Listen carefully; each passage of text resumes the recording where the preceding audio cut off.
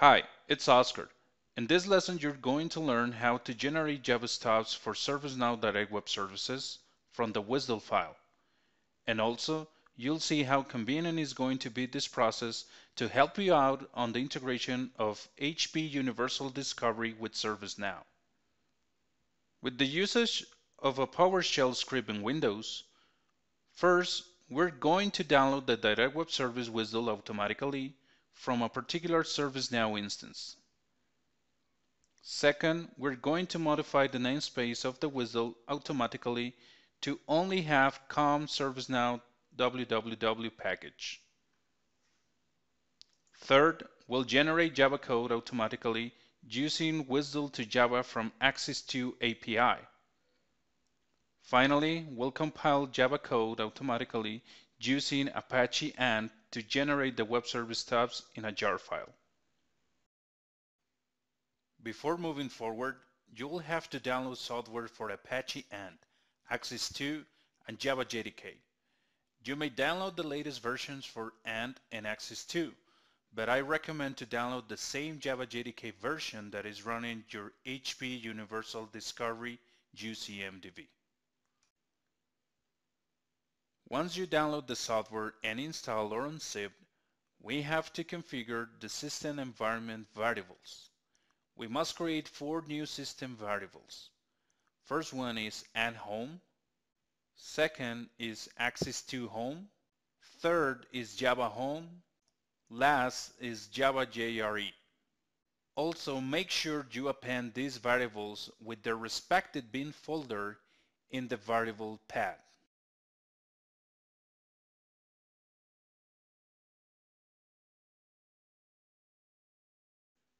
Remember to check if Java can run in the command line after configuring the system variables. You should check both Java and Java compiler. You will need a workspace to locate the PowerShell script along with a folder to contain the WSDL and Java source code. In this example, the script will allocate all the files within the dev folder, which at this point is empty.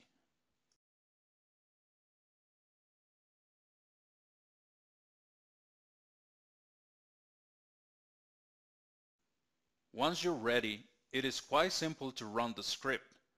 Use dot backslash and the name of the script followed by the name of the ServiceNow table for which you want the web service stub, In this case, core company. Then hit enter and let the magic run.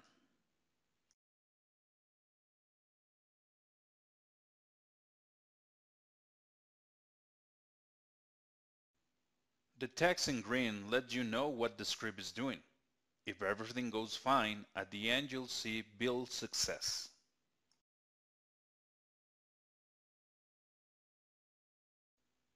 It is time to see what the script is doing behind the scenes. In the first block, the script receives only one parameter, the table name, and we have a variable holding the URL for the ServiceNow instance. The following lines of code creates the URI for the WSDL along with the credentials.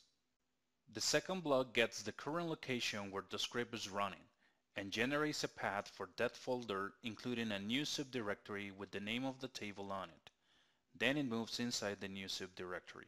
The third block downloads the WSDL for the table mentioned above using the web client and fourth block modifies the namespace of the WSDL that includes the name of the table by replacing it only with www.servicenow.com.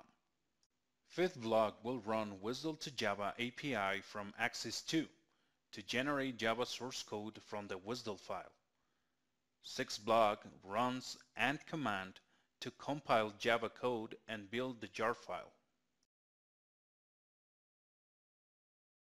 Let's take a look on the files generated in the dev folder.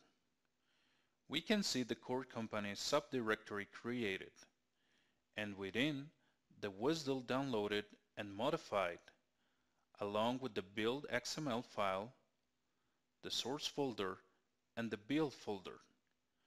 Within build folder, we can find inside lib the jar file created.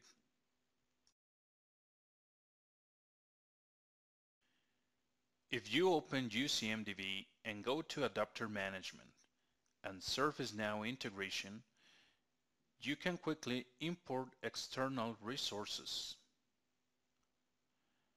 Just pick the jar file generated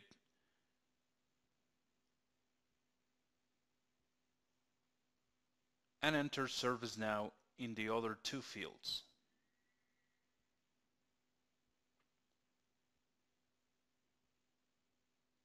Now you can see that the file was added.